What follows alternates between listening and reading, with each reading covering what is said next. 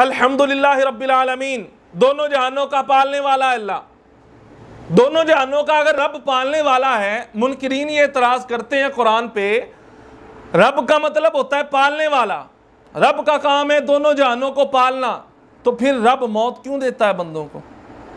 बाप बच्चों को पालता है, इतनी मेहनत करता है। बाप ये चाहता है मेरा बच्चा मर जाए, कभी भी नहीं चाहेगा। रब फिर अपने बंदों को मौत क्यों देता है? रब तो सत्तर माओ से ज़्यादा प्यार करता है, फिर बंदे को मौत क्यों आती है?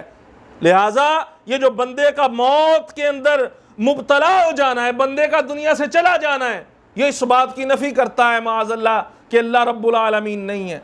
हम कहेंगे, नहीं, बात असल में आपकी समझ में नहीं आई। बात समझिए बात ये है, जो मौत होती है, ये कोई बुरी चीज़ नहीं है। मौत ये इंसान के लिए एक तोहफा है। मौत से वो घबराता है जो गैर मुस्लिम है, मुशरिक है। मौत जो है, ये तो मुसलमान के लिए तोहफा है कि जब बंदा मरता है, उसको अपने नबी का दीदार नसीब होता है। और रोज़े क़यामत सबसे बड़ी नेमत, वो ये है कि मोमिन को रब का दीदार होगा। इसलिए मोमिन के लिए जो मौत है, ये तोहफा है। ये कोई बुरी चीज़ नहीं है। और अगली बात, मोमिन जब मरता है और काफिर जब मरता है मौत मोमिन के लिए तोहफा है।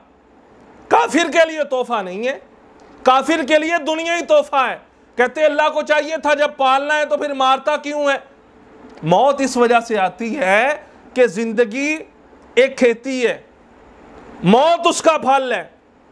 किसान ने खेती बाड़ी की, गंदम उगाली, फ़सल बड़ी हो गई। उसको पानी लगाया, खाद दी।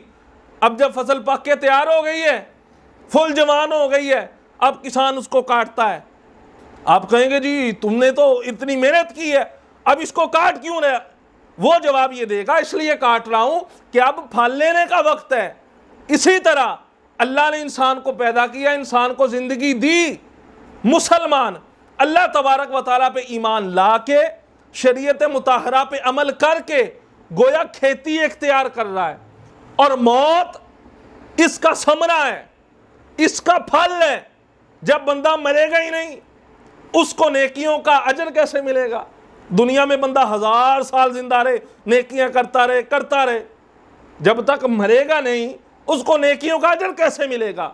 इसी तरह जो गुनाहगार है, सारी उम्र गुनाह करते रहे हज़ार साल, जब तक मरेगा नहीं, गुनाह की सजा कैसे मिलेगी? इसलिए जनाब, जो ज़िंदगी है, ये खेती की तरह है। मौत, ये उसका समरा है, उसका फल है इसलिए ये कहना कि मौत देना रब्बुल आलमीन के मुनाफी है, ये बात दोस्त, नहीं है।